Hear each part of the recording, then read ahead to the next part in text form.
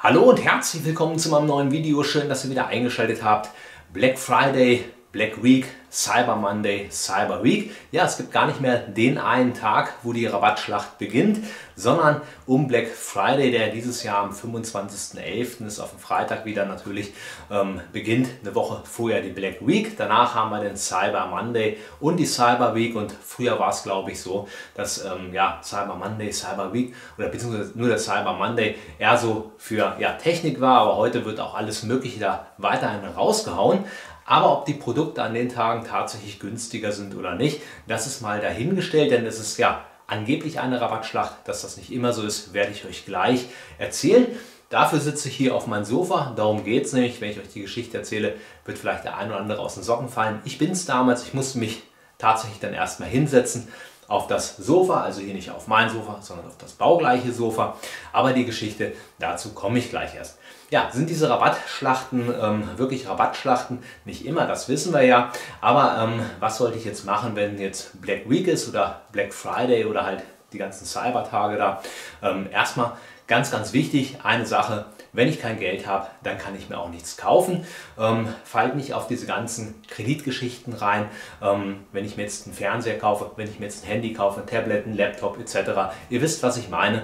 Ähm, das ist nicht geschenkt, nur weil es finanziert ist. Ich muss die Rechnung trotzdem bezahlen. Viele junge Leute vergessen das, kaufen alles auf Pump und am Ende wird es dann immer mehr. Da ist es der Fernseher, da ist es das Laptop, da ist es das Handy. Dann geht das Handy kaputt, dann muss ein neues Handy her, wird wieder auf Pump gekauft und ja, dann wird das Gas teurer, dann wird der Strom teurer und dann überlegt man sich irgendwann, wie man den ganzen Kram ähm, ja, überhaupt bezahlen kann. Deshalb ganz wichtig, kein Geld, kein Konsum. Das sind alles Sachen, die muss man nicht haben, die möchte man gern haben, aber man braucht sie nicht zum Leben. Wenn man ein älteres Handy hat und das noch funktioniert, kann man das behalten. Kann man sich das neueste iPhone oder das neueste Samsung Galaxy oder was weiß ich nicht, nicht leisten, dann sollte man sich nicht kaufen, sondern abwarten, Geld sparen und wenn man das Geld zusammengespart hat, dann kann man es sich kaufen. Denn die Ratenkredite sind nicht umsonst. Teilweise sind sie zwar zu 0%, aber ihr gebt natürlich Datenpreis. Das Ganze landet auch in der Kreditauskunft. Wenn ihr mal einen Kredit haben wollt und habt immer diese günstigen Finanzierungen gemacht, kann das euch, wenn ihr mal einen großen Kredit für eine Wohnung oder Haus haben wollt, am Ende wieder auf die Füße fallen. Also ganz, ganz wichtig, vor allem für junge Leute, ähm, die das nicht wissen oder nicht ja, beigebracht gekriegt haben. Wenn ich 50 Euro habe, darf ich nie mehr als 49 ausgeben. Dann kann ich am Ende nichts verkehrt machen und ähm, dann ich auch, kann ich auch Rücklagen bilden, um mir mal was zu leisten oder halt auch, wenn was kaputt geht, um dafür Ersatz zu sorgen.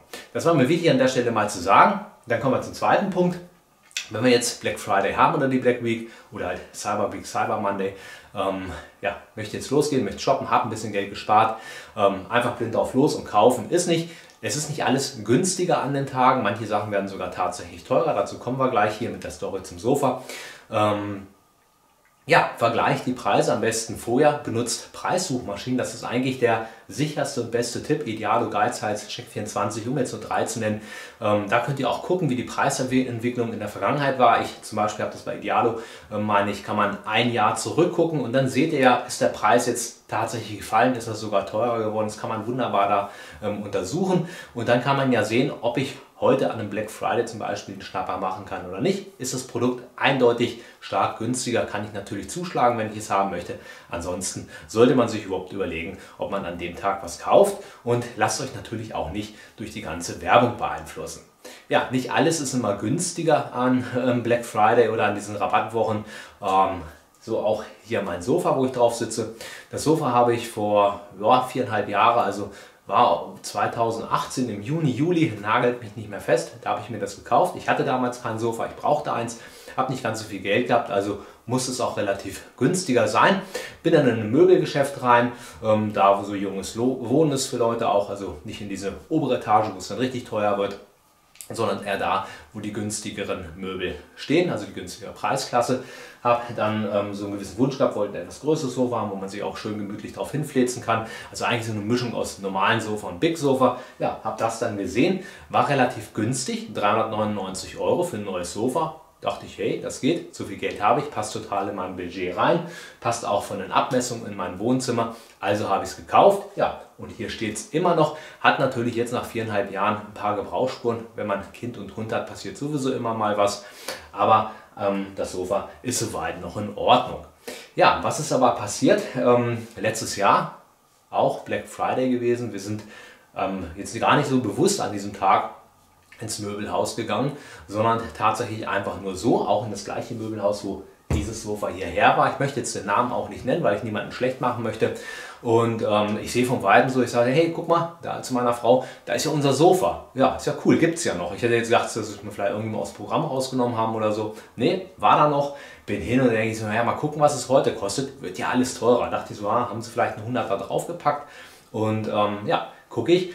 Ähm, war auch knallhart reduziert, irgendwie 40% Rabatt oder so gab es da. Und ähm, ja, sollte dann aber zu dem Zeitpunkt noch 1399 Euro kosten. Da denke ich so, hä, was stimmt denn da nicht? Du hast doch 400 Euro bezahlt, 1000 Euro weniger. Ja, war natürlich auch runtergesetzt, ne? die 40% der Preisaufschlag da waren auch noch mit drauf, dann 40% runter, dann waren es mit Rabatt 1399. Da dachte ich so, ey, das ist doch kein Rabatt. Ihr habt von 399 auf 1300 aufgeschlagen und versucht jetzt den Kunden hier zu verkaufen, dass es günstiger ist. Ähm, dann hatten sie da irgendwie noch ein Online-Angebot. Dann äh, dachte ich, ja gut, guckst du mal rein, was es online kostet. Da war es dann für 1,5, also 100, also 1499, 100 Euro mehr. Da dachte ich, ist ja cool, ein Sofa, drei Preise. Für mich damals 399, dann 1399 und im Internet online, wo man ja eigentlich denkt, dass es günstiger ist, weil man ja die ganze Kaufabwicklung selber macht, da muss man ja niemanden mehr ansprechen, ähm, sogar noch ein 100er mehr. Ja, und da könnt ihr mal sehen, es ist nicht immer alles günstiger. Die hauen zwar angeblich Rabatte drauf, aber hinterher oder vorher wird so draufgeschlagen. Und als ich mir damals gedacht habe, hey, das Sofa für 1399 Euro, ich habe wirklich geguckt, es ist 100% das gleiche gewesen. War auch der gleiche Laden, gleiche Farbe, alles gleich, wirklich von der Ausstattung her auch. Ähm, ja, und also 1000 300 oder 1400 oder 1500 Euro ist das Sofa wirklich nicht wert. Es ist okay, aber man merkt schon so nach, nach drei, vier Jahren hat man gemerkt, an manchen Stellen ist ein bisschen platt gedrückt, platt gesessen. Die Kissen sind nicht mehr so schön, wenn man sich mit dem Rücken reinlegt. Also so viel Geld hätte ich dafür tatsächlich nicht ausgegeben. Aber da kann man mal sehen, dass man beschissen wird. Es wird angeblich ein Rabatt von 40% gewährt, ja, und am Ende ist das Produkt eigentlich fast dreimal so teuer ähm, wie vorher. Und ähm, das ist eigentlich schon ja, purer Betrug. Ich habe keine Ahnung. Ähm, ein Versehen war es garantiert nicht, weil das Sofa danach immer noch wieder dann zu einem etwas teureren Preis wieder äh, verfügbar war, aber auch nicht zu dem ursprünglichen Preis, was es angeblich mal gekostet hat. Also ähm, ja, passt da einfach auf. Mich wundern ohnehin immer viele Sachen. Das geht jetzt auch los, wenn du in die Baumärkte reingehst, wenn sie auf einmal den Weihnachtskram rausholen. Ja, die räumen gerade die Regale ein und dann kriegst du schon ähm, reduziert 20 Prozent. Da denke ich mir so, nee, das ist der Originalpreis. Ihr habt es vorher gar nicht im Sortiment gehabt, weil ich es einfach nicht verkauft habe. Und jetzt stellt ihr es in Regal, macht einfach mal so pauschal 20 Prozent raus und sagt angeblich reduziert. Ist nicht reduziert. Reduziert wäre es meiner Meinung, meiner persönlichen Meinung nach, wenn ihr es reinstellt. Es kostet, sage ich mal, so ein, so ein ja, Hirsch oder Rudolf, das Rentier da, Figur 100 Euro. So, und dann nach zwei Wochen merken sie, verkaufen wir nicht, reduzieren wir um 20 Prozent, der kostet jetzt nur noch 80, äh, 80 Euro. Dann ist es reduziert. Aber vorher, wenn ich es gleich für 80 Euro reinstelle, meiner Meinung nach keine Reduzierung. Ja, das sind einfach mal so Sachen, die ich loswerden wollte. Achtet ein bisschen drauf, schmeißt das Geld nicht aus dem Fenster. Das ist alles so wahnsinnig teuer geworden. Keiner weiß genau, was er nächstes Jahr für eine Strom- oder Gasabrechnung kriegt oder auch mit Öl. Ähm, Weiß man auch nicht, wenn man jetzt mietet, was man da zahlen muss. Als ähm, Eigentümer hat man ja die Rechnung vielleicht schon bekommen, sei denn, man muss nachtanken. Wisst ihr auch nicht genau, was da auf euch zukommt. Also seid da einfach ein bisschen vorsichtig, geht mit gesundem Menschenverstand ran, nutzt Preissuchmaschinen und fallt nicht auf jeden Rabatt, der angeblich gewährt wurde, rein.